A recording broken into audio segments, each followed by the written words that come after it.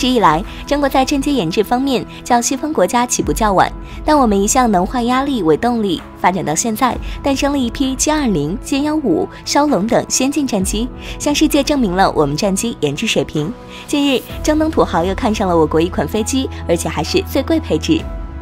据网传消息透露，阿拉伯联合酋长国不仅看中了中国飞机，而且一出手就要买最高配置的。据介绍，这次不是彩虹，也不是翼龙，阿联酋直接订购了十五架 L 幺五 AW 飞机。这并不是为军队采购的，而是为了骑士飞行表演队准备的。更重要的是，这对战机操控性要求更高。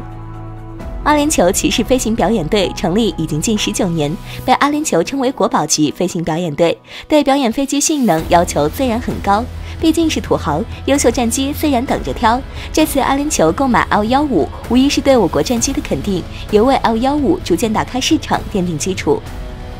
事实上，L 幺五 AW 是我国出口级高级教练机中配置最高的，日常能够很好的完成飞行员训练任务，同时还可以作为战机。毕竟 L 幺五 AW 装备了先进的雷达和可加力的涡扇发动机，凭借先进性能获得中东国家的青睐。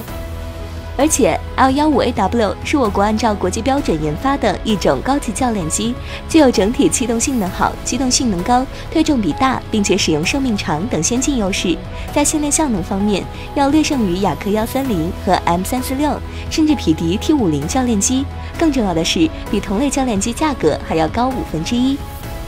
无论是彩虹战机、翼龙战机、大疆无人机，都在中东市场大放异彩。不仅在反恐战场发挥巨大作用，还让中国武器装备能够得到大量实战经验，研制出更先进的战机。相信这次购买的 L 幺五 AW 也能让中东国家惊艳一把。